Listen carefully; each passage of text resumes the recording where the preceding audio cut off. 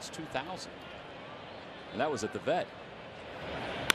Line drive to center field. Rollins goes back to tag. Gwynn makes the catch. Rollins comes home and he'll score. 2 0 Phillies. That'll go down as a sacrifice fly. So the Phillies have capitalized on the mistakes of the Dodgers here in the third. Yeah, and again, good base running.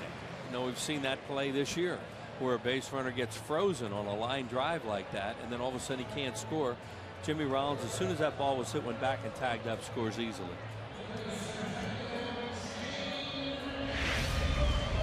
You see him go right back, tag up, and now Gwynn has no shot at him. If you're the center fielder, what you want to do is throw that ball to the middle of the diamond.